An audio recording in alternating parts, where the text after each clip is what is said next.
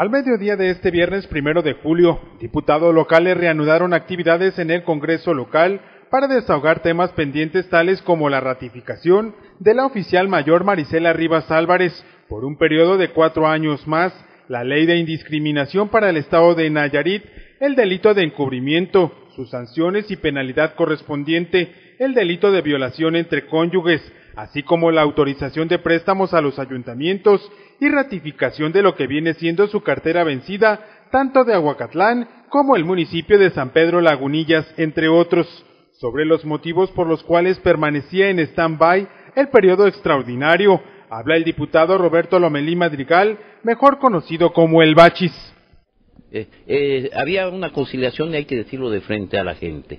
Estábamos analizando con mucha profundidad eh, la situación de ratificación o no de la oficial mayor, en virtud que ocupa una votación calificada, que son las dos terceras partes de los 30 diputados. Ahorita tenemos la ausencia, lamentablemente, del diputado Reséndiz que falleció, entonces es difícil tener 20 votos de 29 votos. Ya se han conciliado las distintas eh, grupos parlamentarios y parece que tendremos una respuesta que no les puedo comentar el día de hoy en el sentido de si se ratifica o no a quien se ha desempeñado por los anteriores cuatro años como oficial mayor. Sobre la ley de indiscriminación para el Estado de Nayarit precisó. Antes nada más contemplaba la situación de que se discriminaba a la persona cuando se violentaban sus, sus garantías individuales.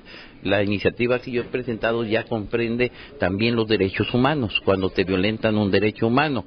Ya esto se está contemplando, tú veías que antes los amparos eran únicamente por violaciones a garantías constitucionales, ahora son por violaciones a derechos humanos. La estamos agregando a esta ley. Igualmente estamos contemplando el delito de encubrimiento. Aquella persona que permite que se violenten dichos derechos también tendrán sanciones y hemos aumentado la penalidad correspondiente.